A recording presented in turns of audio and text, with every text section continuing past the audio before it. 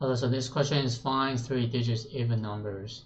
So um, you are going to give in the integer array and then you want to find all the unique integers that follow the given requirement. And the integer does not have the leading leading zero right? So we give you a hint is what? Three digit right? So and then we have to return the sorting array.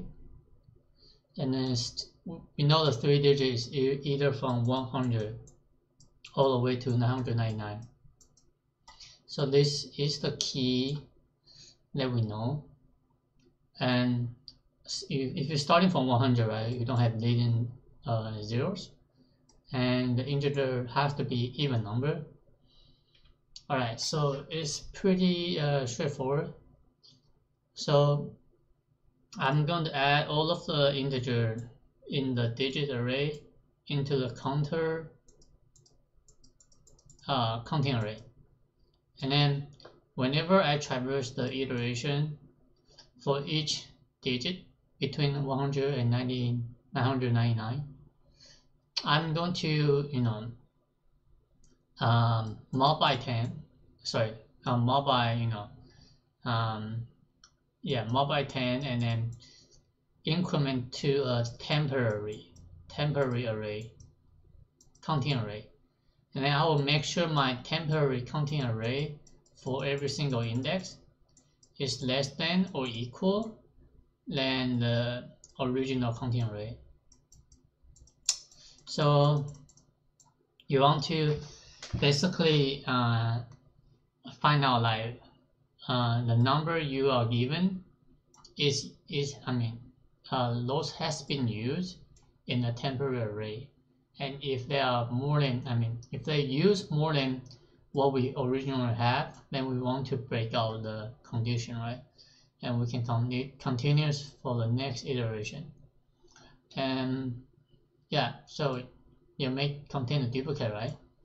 So 22882, right? So 22 and then 882. I mean, those are even number, right? But you just have to be careful. You don't want to return a duplicate number, right?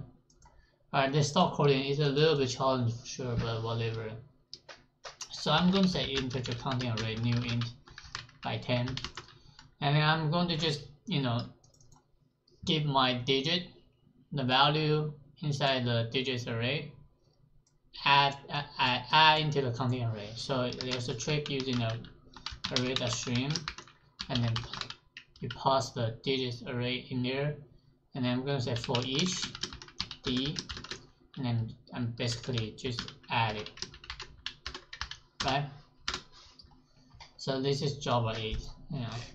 So for every single element inside the array I'm going to just you know this is the variable I'm using then if the value is 1 then counting array at index 1 increment by 1 if this value 9 counting array index 9 increment right?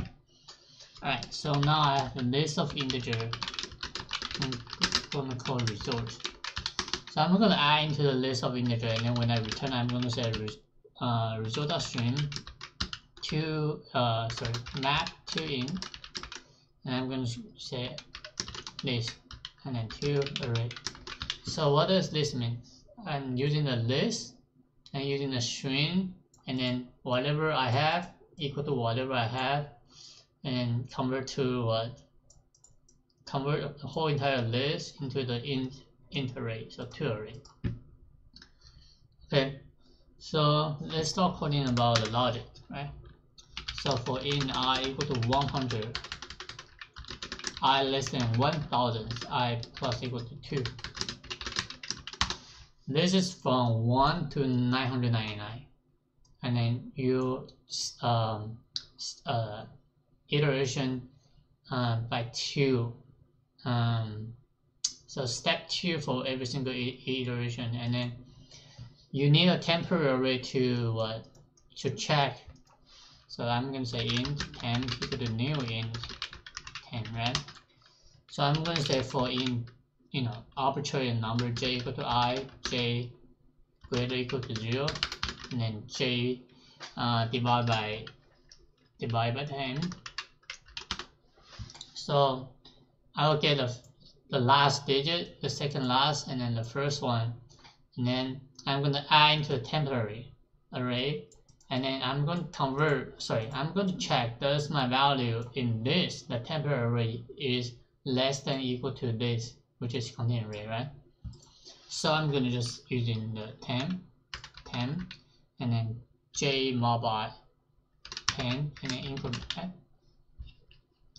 okay so there's a way so if int string dot range from 0 to 10 so this is pretty much is like for in i equal to 0 i less than 10 i plus plus right? Um if all match x you know this is going to call you know i or x but I'm going to say if the value index so x represent index right? So I'm going to say um, the temporary so so temporary x is less than equal to uh, the array x. If this is true then we know uh, we need to add value i in there. So what does this mean? It's pretty straightforward. I want to have every single index in a temporary temporary array. The value inside this is less than the content array the value of x so I want to make sure so it can be like this. Boolean flag equal to no false. If temp x greater than content array should be it should be x. Temp x greater than count x right I'm going to set flag equal to true and then break and then if you know. Not flag I add the i so they are the same. But if you prefer this one then you do it. If you prefer this one then you do it. Uh, I'm gonna just run it. Okay. Submit uh, yeah time and space. This is time. And this is also time. So this time is what? O of d right? D represents of the digits. This is O of 900 O of you know one uh three right? You you basically three times for each for loop. I mean for each i right so three times this is 10 times. I mean everything should be constant but whatever. Alright so if I can run this again. Yeah. So they are going to be the same solution. And yeah just prefer whatever you want and the time and space are pretty straightforward. This is space this is space. So the worst case for the space is going to be what? You add the 100 to 90, 999 all of the even number you add into the result. I would say it's going to be constant constant as well but whatever. So um, this is pretty straightforward okay? Just a little bit tough. So it shouldn't be classified easy. It should be medium something like this alright so if you still have question leave a comment I'll see you later bye